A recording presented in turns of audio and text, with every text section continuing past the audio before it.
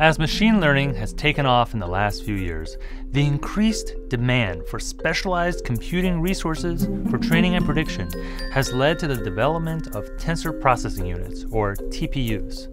But where did they come from and how do they work on the inside? Stay tuned to find out.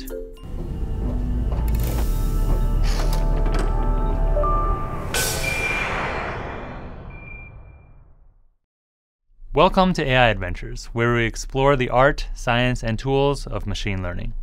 My name is Yufeng Guo, and on this episode, we're going to begin a two part adventure into the world of high performance computing at Google. In the first episode, we'll look at the original TPU, its design, and how it came to be used in everything from Google Photos to Google Translate. Then, in the second episode, we'll talk about TPU v2 and v3 and learn about how they work to enable the next generation of machine learning. The trouble with modern computing is that we keep wanting more processing power. Unfortunately, we're beginning to run into the very limits of physics.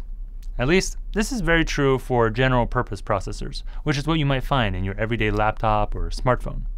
The need for more specific computational power is what led to the first tensor processing unit to be created.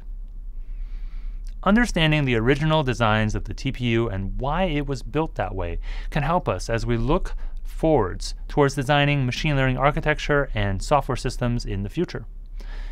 The first tensor processing unit was built as a PCI Express expansion card, and it was plugged straight into existing server racks in Google data centers. It had a 700 megahertz clock speed and had 40 watts of power consumption, and it's been in production since 2015, powering things like search, translate, photos, and of course, famously featured in the AlphaGo match in South Korea. Not only was the TPU V1 much more performant than the existing CPUs and GPUs of the time, it importantly had a much higher performance per watt of energy. These two effects combined to make the first TPU a very effective chip. The chip featured an architecture that was specific for deep learning. It utilized reduced precision, a matrix processor, and a minimal design to reduce overhead. Let's look at each of these now in turn. Neural networks boil down to a rich set of matrix multiplications and additions. The team decided to reduce the precision of the chip using just 8 bit integers rather than the conventional 32 bit floating point numbers and using a technique called quantization, they could convert or map 32-bit floating point numbers to 8-bit integers.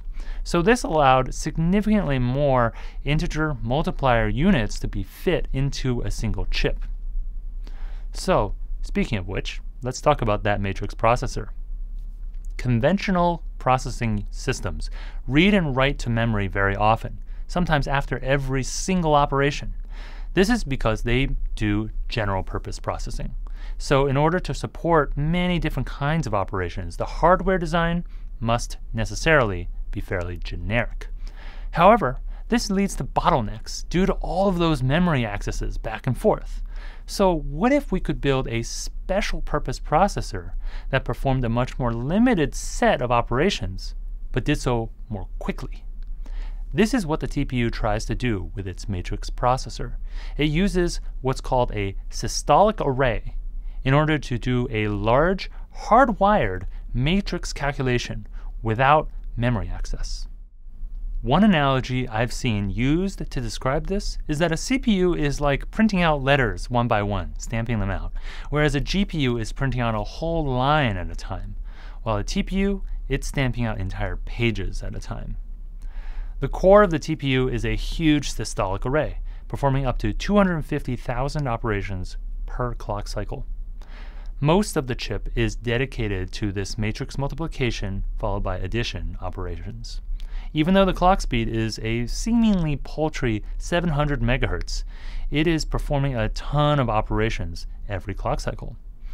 And one final note about all of this is that it is important to remember that in order to achieve this design, the TPU version 1 only did predictions. Now, you can't get your hands on the TPU v1 or even use it directly, but every time you use something like Google Photos or Google Translate, there's probably a TPU powering your search somewhere. On the next episode of AI Adventures, we'll talk about the TPU v2 and v3 and how they work and how to get your code to run on a TPU. Don't miss it.